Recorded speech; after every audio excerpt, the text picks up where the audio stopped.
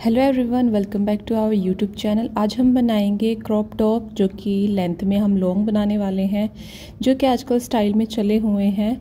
सबसे पहले रेडी करेंगे हम अपनी ड्राफ्टिंग तो जितनी लेंथ आपको बनानी है फ्रंट साइड आप मेज़र करेंगे। उससे वन इंच एक्स्ट्रा लेते हुए उसकी लेंथ की मार्किंग कर लीजिए। इसको हम स्ट्रेट इस तरीके से मार्क कर लेंगे अपनी लेंथ को और फिर लेंगे शोल्डर की चौड़ाई अपने साइज़ के अकॉर्डिंग आप अपने शोल्डर की मेज़रमेंट यहाँ पे निशान लगाएँगे। इसमें बनाने वाले हैं हम डीप नेक तो डीप नेक के अकॉर्डिंग लगाइए और उसी अकॉर्डिंग लगाइए अपने आर्म होल की लेंथ अब आपका जो भी बस्ट साइड है, उसका वन फोर्थ पार्ट यहाँ पे मार्क कीजिए। जैसे कि मैं थर्टी सिक्स बस्ट साइज़ बना रही हूँ तो मैंने नाइन इंचज़ किया।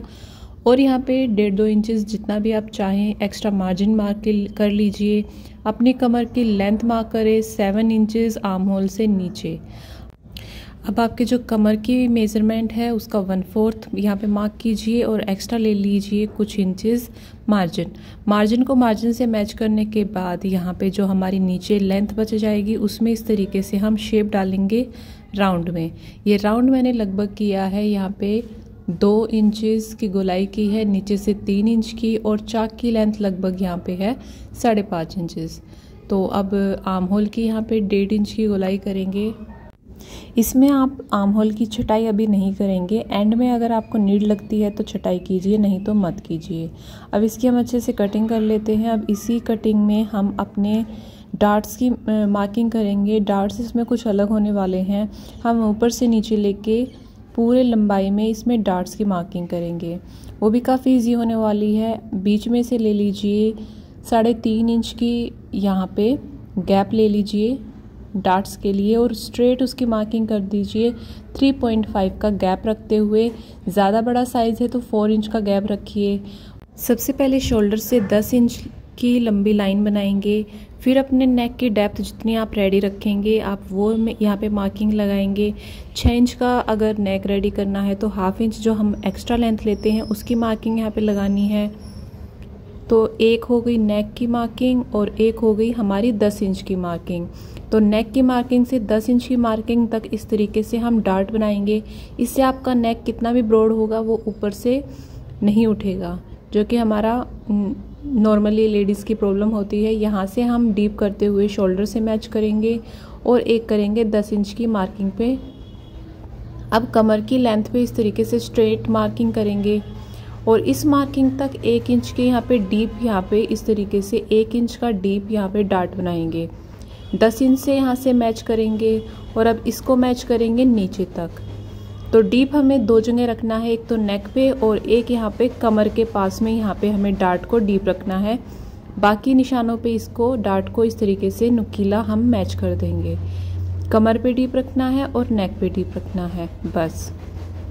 और 10 इंच तक हम इन दोनों डार्ट्स को नुकीला यहाँ पे मैच करेंगे। तो मेन मार्किंग आप यहाँ पे समझ चुके हैं।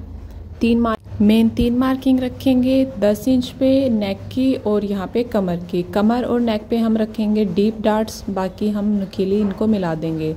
मार्किंग पे से कटिंग करते हुए दोनों पार्ट्स को अलग कर लेंगे, लेकिन आप फैब्रिक पे इनको तीन पार्ट्स में कट करेंगे। एक रहेगा मिडल पोर्शन और दो रहेंगे साइड्स में।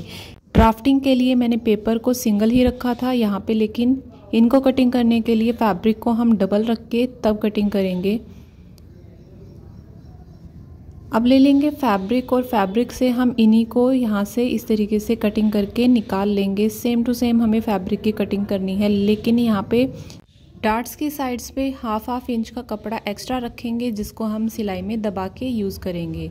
तो यहाँ पे दूसरी साइड भी देख सकते हैं और मिडल वाला पोर्शन जैसा कि मैंने आपको बताया था, हम डबल करके तब इसको निकालेंगे और दोनों साइड्स में हाफ़ हाफ़ इंच का यहाँ पे भी मार्जिन होना ज़रूरी है।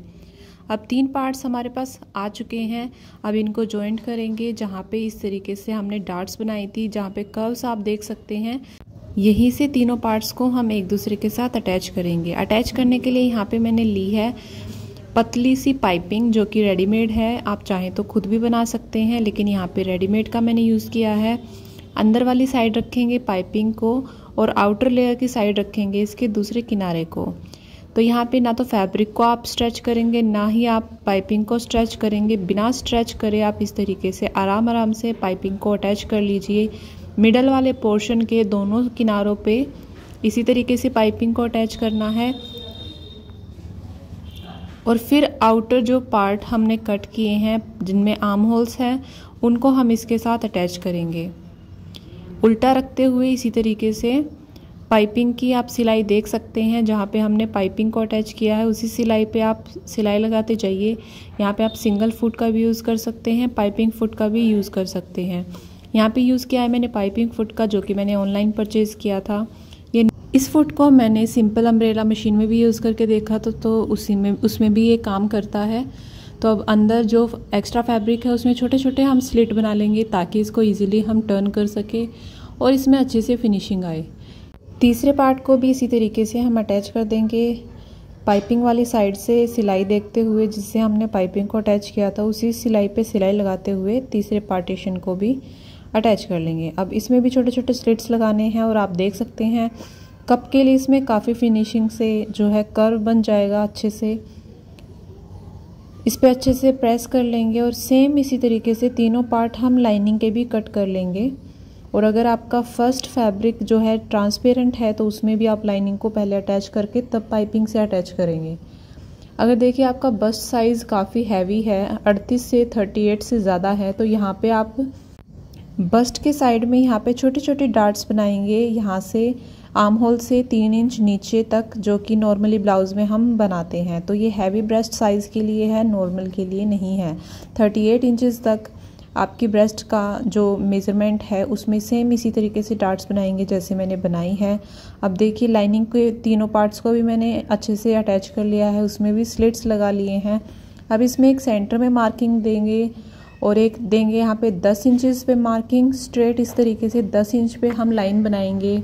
सेंटर से एक एक इंच पे यहाँ पे मार्किंग करेंगे, जो कि हम कप में यहाँ पे गैप रखने वाले हैं। यहाँ पे इस तरीके से हम दो इंच के गैप पे कप अटैच करेंगे और दस इंच की लेंथ पे हम अपने कप को अटैच करेंगे। तो ये मार्किंग थी कप्स के लिए। अब यहाँ पे मैंने ये कप ले लिए हैं। दूसरी साइड पे हम यहाँ से ट्रांसपेरेंट है तो देखेंगे। और अगर ट्रांसपेरेंट नहीं है तो आप यहाँ पे दोबारा से मार्किंग लगाएँगे। जहाँ पे हमारे कपड़े की राइट साइड है कप को नीचे रखेंगे। और सेंटर में यहाँ पे कप के सेंटर में और 10 इंच की लेंथ पे मेंटेन करते हुए बीच का ये दो इंच का गैप यहाँ पे लगा लेंगे पिन काफ़ी सारे लोग क्या करते हैं, यहाँ पे सिलाई का भी यूज़ करते हैं, लेकिन सिलाई लगाएँगे तो जैसे ये गड्ढे बन गए हैं, ये टॉप के और जो भी आप बना रहे हैं, उसके ऊपर इस तरीके से गड्ढे आ जाते हैं. अब गोलाई में हम कप पे सिलाई लगाएँगे और कप्स को अच्छे से अटैच कर लेंगे. फैब्रिक को एडजस्ट करते हुए फैब्रिक में कोई झोल ना आए, कोई अच्छे से. स्प्रेड कर देंगे चारों तरफ़ से, जैसे कि आप देख सकते हैं। आप बीच में जो हमने पिन लगाई है, उसको रिमूव कर देंगे अच्छे से। आप चाहें तो सिलाई भी लगा सकते हैं बट सिलाई में ये दिक्कत आती है, बीच में जो सेंटर में, हमारे कप में गड्ढा बन जाता है, जो लुक में काफ़ी भद्दा लगता है। अब देखिए, जो हमारा मेन फैब्रिक है, उसको रखेंगे मेन पार्ट को, और सारे तरफ़ से सिलाई लगाते हुए लाइनिंग वाले पार्ट के साथ इसको अटैच कर देंगे। और ये मैंने बैक साइड कट की है। बैक साइड भी सेम कट की है, लेकिन इसमें कोई डार्ट नहीं बनाएँगे। बीच में से सेंटर से ऊपर से डेढ़ इंच लिया और नीचे से हाफ़ इंच लिया। बीच का हिस्सा मैंने ये रिमूव कर दिया है, क्योंकि इसको मैं बनाने वाली हूँ बैकलेस लेंथ इसकी शॉर्ट रखेंगे, जैसे नॉर्मली हमारे जो ब्लाउज़ की लेंथ होती है, उससे एक इंच ज़्यादा।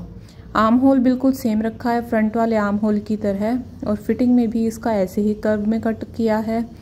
लेकिन इसमें हम कोई डार्ट्स का यूज़ नहीं करने वाले।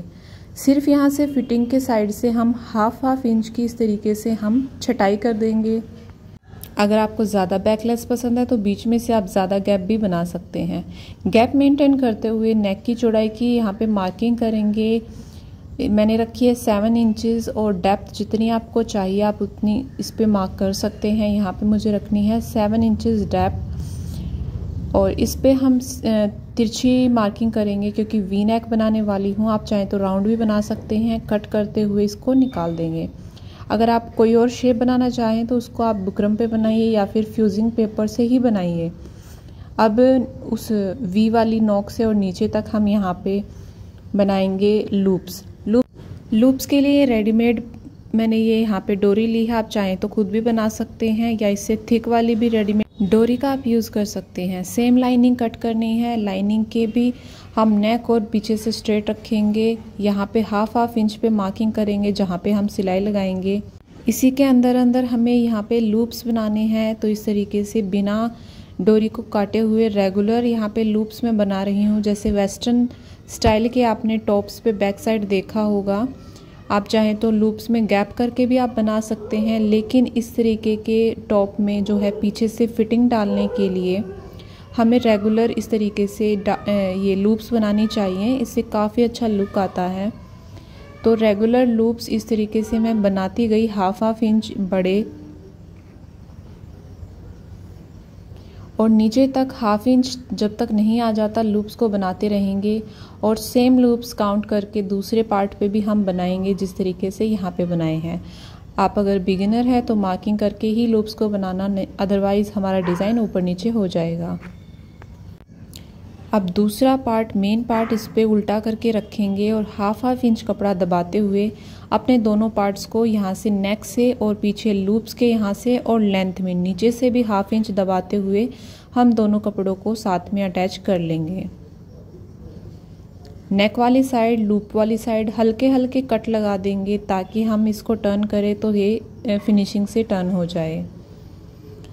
सीधा करेंगे, अब जहाँ पे हमने सिलाई लगाई है नेक पे लूप्स के यहाँ पे और नीचे लेंथ पे, यहीं पे हम ताकि बाहर से लाइनिंग वाला फैब्रिक शो ना हो जाए, इसलिए हम क्या करेंगे? वन फुट के गैप पे अपने नेक पे, लेंथ पे, लूप्स के यहाँ पे वन फुट के गैप पे एक सिलाई लगा देंगे। अगर आपको ये सिलाई दिखानी नहीं पसंद तो आप यहाँ पे तुरपाई भी कर सकते हैं, जिससे टाके शो नहीं होंगे और आपका ये फिनिशिंग से काफ़ी अच्छे से अटैच भी हो जाएगा। या आप इनविजिबल टेप का भी यहाँ पे यूज़ कर सकते हैं। अंदर रखते हुए उस पर आप प्रेस कर दीजिए, लेकिन वो लॉन्ग लास्टिंग नहीं होती है। सभी तरफ़ से इसको स्टिच कर लिया है। दूसरा पार्ट भी सेम इसी तरीके से रेडी कर लेंगे। ये देखिए लूप्स बिल्कुल इक्वली साइड्स में अपोजिट साइड्स में मैंने अटैच कर दी है। दोनों पार्ट्स बैक साइड रेडी हो गए हैं। अब फ्रंट के लिए नेक कट कर लिया है। नेक मैंने थोड़ा स्क्वायर में रखा है। स्क्वायर राउंड इसके नेक की चौड़ाई सेवन इंचेस जैसा कि बैक साइड मैंने मार्क किया था। और इसकी डेप्थ मैंने रखी है साढ़े छः इंच ये रेडी होने के बाद छः इंच रह जाएगी। हाफ़ इंच हम शोल्डर पे दबाने के लिए एक्स्ट्रा लेंगे। एक्स्ट्रा फैब्रिक पे अपनी नेक लाइन को अटैच करने के बाद बाहर से एक्स्ट्रा कपड़ा फोल्ड करके उस पर सिलाई लगा लेंगे अच्छे से। जैसे नॉर्मली हम नेक को रेडी करते हैं, बिल्कुल वैसे ही रेडी करना है। आप चाहें तो यहाँ पे कोई भी शेप बना सकते हैं। लेकिन सिंपल इस तरीके से ओवल शेप में बनाएँगे तो ये काफ़ी अच्छा लगेगा। सेंटर में सिलाई लगा लेंगे, फिर लगा लेंगे यहाँ पे बुकरम की किनारी पे और अपना नेक पलटते हुए नेक रेडी कर लेंगे। बैक साइड के पार्ट को हम शोल्डर से फ्रंट पार्ट के साथ अटैच कर लेंगे, उल्टा रखते हुए। शोल्डर को अटैच करने के बाद यहाँ पे इसको ओपन कर लेंगे। अब लगाएँगे आर्म होल पे पट्टी या फिर आप स्लीव्स लगाना चाहें तो लगा सकते हैं। और यहाँ पे आप ध्यान रखेंगे, अगर फ्रंट साइड आपकी छटाई कम रह जाती है तो यहाँ पे आप और भी छटाई कर सकते हैं। लेकिन आप जैसा कि देख सकते हैं, बीच में डार्ट से हमारी यहाँ पे आराम से छटाई बन जाएगी तो यहाँ पे ज़्यादा हमें कटिंग करने की आवश्यकता नहीं है। पट्टियाँ जोड़ने के बाद करेंगे इसकी फिटिंग तो फिटिंग की मार्किंग मैंने कर ली है और ये आपका काफ़ी एडजस्टेबल ब्लाउज़ होने वाला है। नीचे से ये गोलाई मुझे काफ़ी ज़्यादा ओवल लग रही थी तो इसको मैंने हल्का सा शार्प यहाँ पे कटिंग किया है। जैसे कि आप देख सकते हैं, यहाँ से मैं इसको कट करके हल्की सी शार्प जो है एजेस दूँगी। अब देखिए, यहाँ पे मैं, आप पाइपिंग का भी यूज़ कर सकते हैं, लेकिन यहाँ पे मैं यूज़ करूँगी फ्रिंज लेस का। यहाँ पे ऑलरेडी मैं ओवरलॉक कर चुकी हूँ, क्योंकि धागे काफ़ी ज़्यादा निकल रहे थे। आप चाहें तो बिना ओवरलॉक के भी कर सकते हैं। अब देखिए फ्रिंज लेस ली है। अगर पाइपिंग का आप यूज़ करते हैं तो ओवरलॉक की आपको ज़रूरत नहीं है। क्योंकि यहाँ पे ना तो मैं पाइपिंग का यूज़ कर रही हूँ, ना ही मैं कोई पट्टी यूज़ कर रही हूँ तो इस वजह से मैंने ओवरलॉक किया। अब नीचे एज की तरफ़ हम अपनी लेस को रखेंगे। आप चाहें तो इस लेस को भी शो कर सकते हैं। ये मैंने फ्रिंज लेस ऑनलाइन ली थी लिंक आपको नीचे मैं कमेंट बॉक्स में दे दूँगी। और कमेंट करके प्लीज़ बताना आपको वीडियो कैसी लगी, जो आपको समझ नहीं आता, आप कमेंट बॉक्स में पूछ सकते हैं। तो यहाँ पे ना तो लेस को स्ट्रेच करना है, ना इसको लूज़ छोड़ना है, नॉर्मल तरीके से आप लगाते जाएँगे। इसको इस तरीके से कर्व में घुमाते हुए दूसरे चाक तक हम इसी तरीके से इसको घुमाते हुए लगाएँगे। अगर आपको सीक्वेंस चुपता है तो यहाँ पे इसके ऊपर आप पट्टी आवश्यक रूप से लगा लीजिए। अब मैं तो इसको इसी तरीके से टर्न करके इस पर सिलाई लगा के कंप्लीट करने वाली हूँ, क्योंकि मुझे ये सीक्वेंस बिल्कुल भी चुभ नहीं रहा था। काफ़ी सॉफ्ट सीक्वेंस था। और इसको मैं दिखाना इसलिए ज़रूरी नहीं समझती, क्योंकि काफ़ी ज़्यादा ओवरलुक हो जाता, काफ़ी ज़्यादा चमकीला हो जाता। अब मैंने ली है रिवर्सिबल टेप जिसको मैं लेस के नीचे रखती जाऊँगी और इसको अच्छे से प्रेस करके मैं फिनिशिंग से इसको फोल्ड करते जाऊँगी। प्रेस को ज़्यादा टाइम तक ना रखें, क्योंकि ऐसा करने से मेरी लेस जो है जल गई थी। तो आप ध्यान से प्रेस को एक बार ही रखें और इसको स्टीम करने के बाद हटा दीजिए। पूरी गोलाई में मैंने टेप को इस तरीके से रखती गई। और इस पर प्रेस करती गई। इससे काफ़ी अच्छे से स्मूदली हमारे एजेस क्रिएट हो गए थे। बाद में मैं इस पर तुरपाई करूँगी। आप चाहें तो सिलाई भी लगा सकते हैं और अगर अगर आप सिलाई लगा रहे हैं तो आप टेप का यूज़ बेशक से ना करें, क्योंकि टेप से जो है काफ़ी अच्छी फिनिशिंग आ जाती है। बाद में यहाँ पे मैंने टाके लगाते हुए इसको अच्छे से फिनिशिंग दे दी। और देख सकते हैं कितनी अच्छी फिनिशिंग आई है इसकी और सिलाई, ना ही तुरपाई, कोई भी चीज़ शो नहीं हो रही है। अब ये देखिए इसका फुल लुक और काफ़ी अच्छी फिनिशिंग इसमें आई है। कप की कितनी अच्छी कर्व यहाँ पे आई है। अब बैक साइड को कंप्लीट करेंगे।